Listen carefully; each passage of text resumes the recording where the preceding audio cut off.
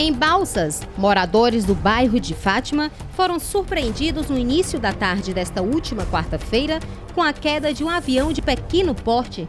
A aeronave transportava o piloto Tiago Medeiros Cardoso e um segundo tripulante, o mecânico Enoque dos Santos Pereira. Segundo informações, o monomotor havia saído de São Luís com destino a Barreiras, na Bahia, quando parou em Balsas para abastecer ao levantar voo, perdeu altitude e acabou caindo, atingindo alguns imóveis. Na residência mais atingida, havia um morador que não ficou ferido e passa bem.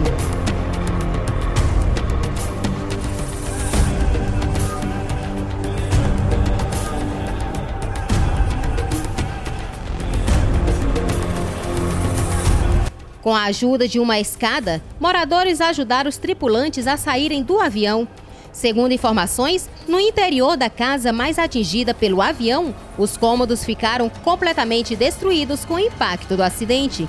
Nos outros prédios, houve uma perda parcial de alguns cômodos. Senhor Nonato, que mora próximo ao local, estava na porta de sua casa na hora do acidente e relata como aconteceu.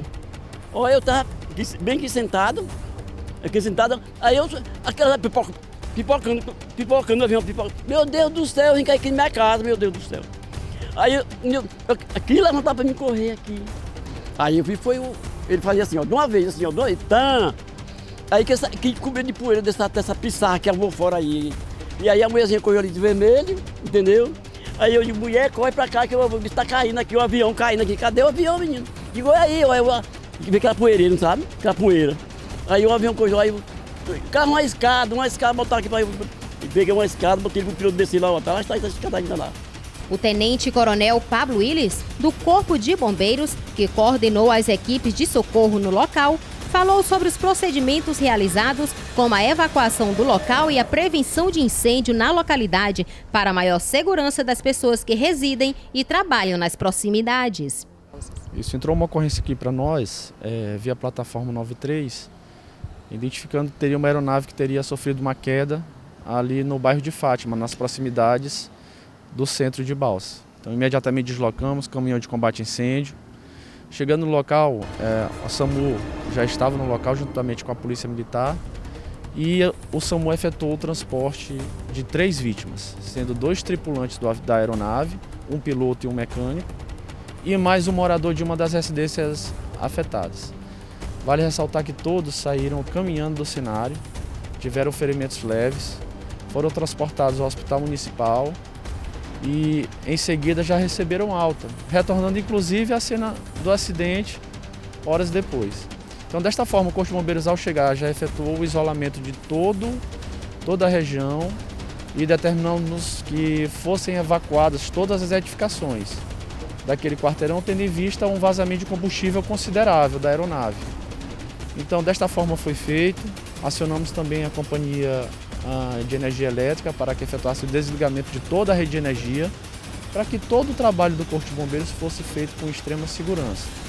Então, já é, fizemos o resfriamento do local, é, juntamente com água e LGE, que é um líquido gerador de espuma, que é um, que é um, um material propício à questão de incêndios relativos é, que ocorrem em aeronaves.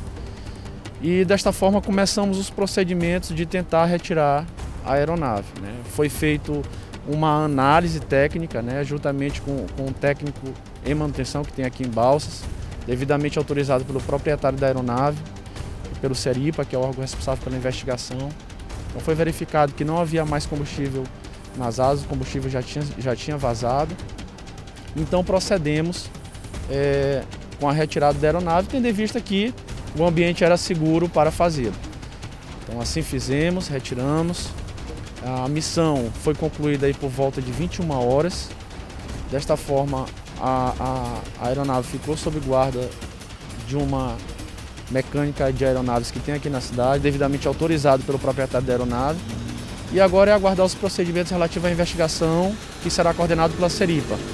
Amanhã a Seripa já nos informou que estará presente aqui na cidade já para iniciar e poder proceder à investigação para poder é, tentar esclarecer os fatos e chegar a uma conclusão do que o porquê do, do porquê da queda da aeronave. A, a, área do local onde caiu o avião, a, os locais, as residências, prédios atingidos, eles também ainda continuam isolados, porque pode ocorrer o risco de ainda poder estar caindo algum detroço. Isso, assim, a gente teve uma residência bem afetada, onde teve todo o telhado danificado e alguma estrutura física relativa à alvenaria, e duas residências ao lado que tiveram danos, mas bem menores. Então, as duas residências ao lado a gente teve condições de liberar para utilização no entanto, a residência principal que foi afetada ainda continua interditada. A partir da vistoria do Seripa, né, dos procedimentos de investigação, aí sim será liberado para que, é, inicie, que os moradores, os proprietários iniciem os serviços aí de, de recondicionamento da estrutura.